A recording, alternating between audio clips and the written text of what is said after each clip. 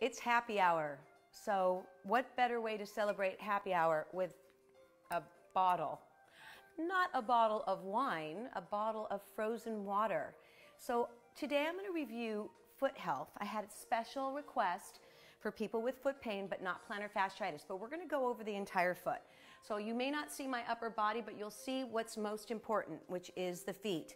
So when you're working with a tennis ball, you want to make sure you roll multiple directions. I am rolling with fiber and I'm rolling the inside of my arch, the middle of my arch, and the outside of the arch. This isn't just for people with plantar fasciitis. This is amazing to keep foot flexibility. And if you have um, some issues with your feet, like a neuroma or a bunion, you want to get in there and work the connective tissue in that area.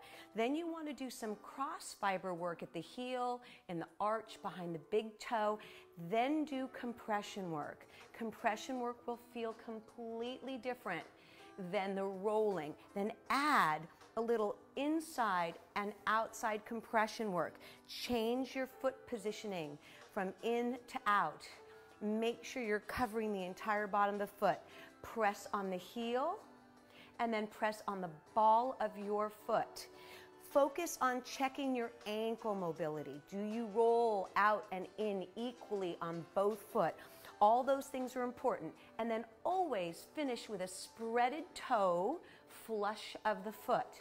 Now watch.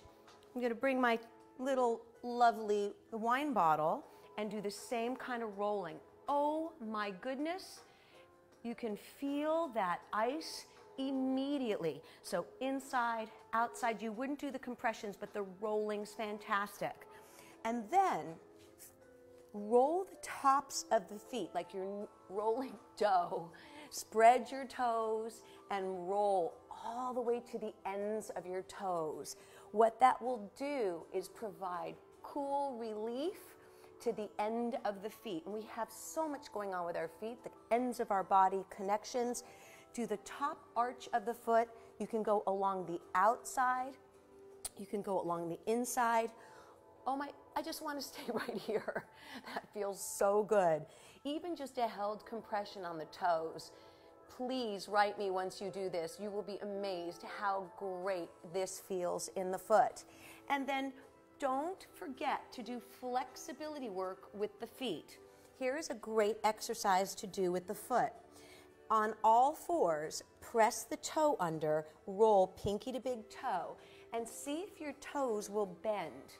You can do this in a chair. Of course, I'm on the floor, and that's a very important stretch for the front arch of the foot and the break at the ankle.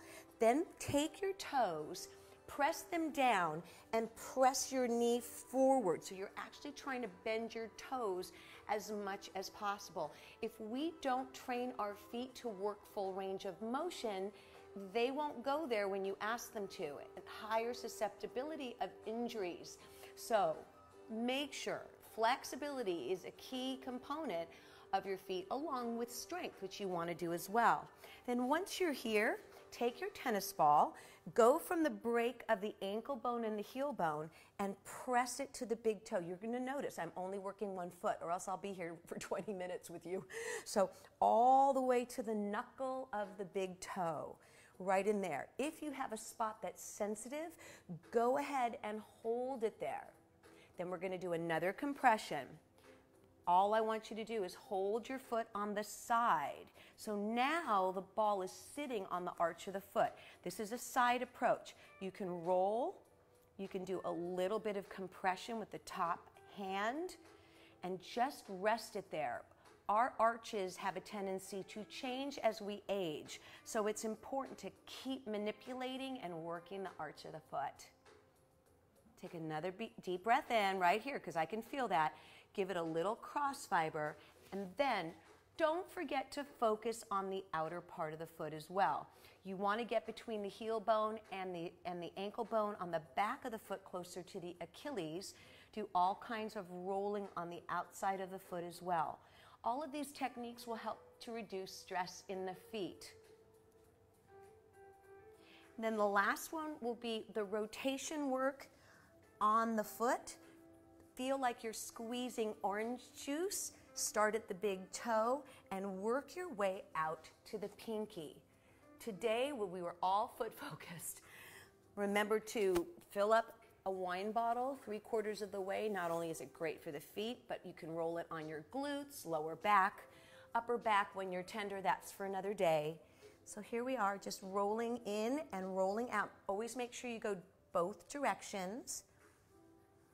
And then finish, always finish with a little flush. I hope that helps you with all of your foot stress. Have a wonderful day, and I'll see you next time.